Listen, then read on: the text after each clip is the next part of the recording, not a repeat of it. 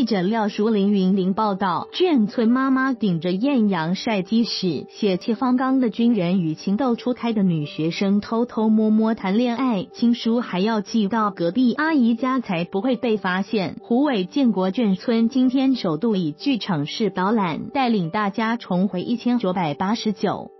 为了让学生能深刻了解眷村文化，湖北科技大学休闲游憩系结合湖北建国眷村再造协会自然生活工坊安排一场别开生面的剧场式导览，让学生用演的带大家参观湖北建国眷村，重现电视剧一把青的场景，还有学生穿旗袍的模样，有如剧中师娘们现身湖北。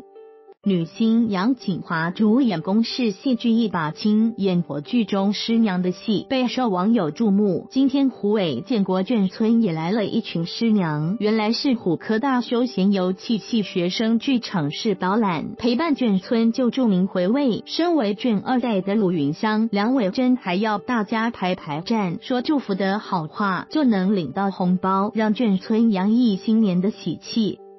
虎科大休闲游戏系专任教师李彦基指出，此次活动原本是学生的专题报告，其中有学生因为参加过建国眷村保存运动，希望扩大到社区，才催生此次剧场式导览。而一九八九年就是建国一村全盛时期，当年著名最多，才以此命名。学生用心规划剧本，租借旗袍等服装，还找来眷村著名协助提供场地及拿手眷村菜，找来大伙儿回到活动中心。